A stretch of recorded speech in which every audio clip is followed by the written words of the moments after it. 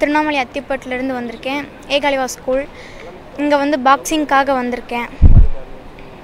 பாக்ஸிங்க்காக வந்து என் masters coach கொடுத்து நெக்ஸ்ட்டு ஆல் இந்தியா ட்ரைபல் அங்கே போயிட்டு விளையாடணும்னு ஆசைப்பட்றேன். அங்கே போயிட்டு இன்னும் நம்ம இந்தியாக்காக விளையாடணும்னு ஒரு எய்ம் இருக்குது இந்தியாக்காக விளையாடிட்டு வேர்ல்ட் கப் எல்லாத்துலேயும் போயிட்டு கலந்துக்கிட்டு எங்கள் பாக்ஸிங் மாஸ்டருக்கு பெருமை சேர்த்துறோன்னு ஆசை. ஒரு மாதம் ம். ஆ. நேஷ்னல் செலக்ட் ஆகிட்டு ஒரு குண்டூர் என்ற ஊரில் போய் விளையாட போகிறோம் நாங்கள் சேலம் சேலம் டிஸ்ட்ரிக் அபினவ ஸ்கூலில் படிக்கிற ஏகலவ மாடல் எங்கள் மாஸ்டர் எங்களுக்கு பாக்ஸிங் பாக்ஸிங் நல்லா சொல்லி தந்தாங்க.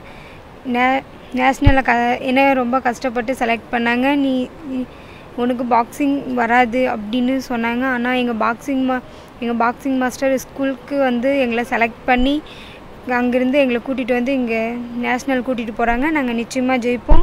பாக்ஸிங் நல்லா கற்றுக்கிட்டு இருக்கோம் நாங்கள் நிச்சயமாக வின் வின் பண்ணுவோம் நேஷ்னலில் கோல்டு அடிக்குவோம். எங் நாங்கள் மட்டும் இல்லை எல்லாருமே கோல்டு அடிக்கும்ன்ற நம்பிக்கை எல்லாத்துக்குமே இருக்குது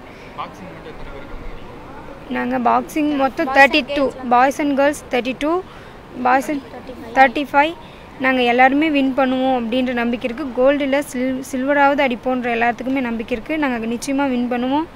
தமிழ்நாட்டுக்கு பெருமை சேர்ப்போம். நேற்றுலேருந்து நான் தான் உங்களுக்கு கண்டென்ட்ல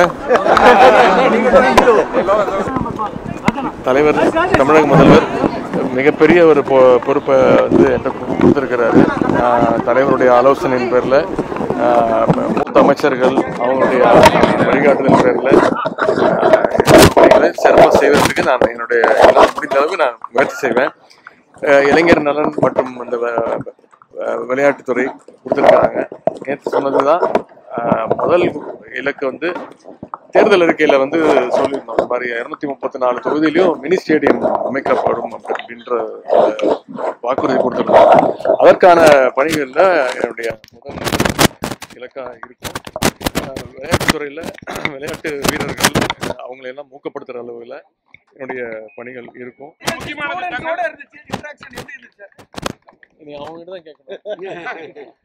வெளிநாடுகள்ல தேசிய அளவிலான போட்டிகள்ல தமிழ்நாட்டுக்கு கொண்டு வரணுன்ற முயற்சி ஆமா இப்போ முத- முதலமைச்சர் தங்க கோப்பை அப்படின்னு சொல்லி ஒரு திட்டத்தை அறிவிச்சிருக்கிறாங்க த- தலைவர் அவர்கள். அதுக்கு ஒரு நிதி ஒதுக்கீடு செஞ்சிருக்கிறோம். அதில் வந்து சிலம்பாட்டம் கபடி பாரம்பரிய விளையாட்டுகள் தான் அதில் வந்து தமிழக முதல்வர் தங்க கோப்பை அப்படிங்கிற போட்டி வந்து ஜனவரி மாதத்துல வந்து அதற்கான போட்டிகள் தொடங்கும் பீச் ஒலிம்பிக்ஸ் அந்த விளையாட்டு போட்டிகள் நடத்துறதுக்கான அந்த முயற்சி எடுத்துக்கிட்டு இருக்கோம். தெரியும் ஏடிபி டென்னிஸ் போட்டி அதையும் கொண்டு வரதுக்கான முயற்சிகள் நடந்துகிட்டு இருக்கு.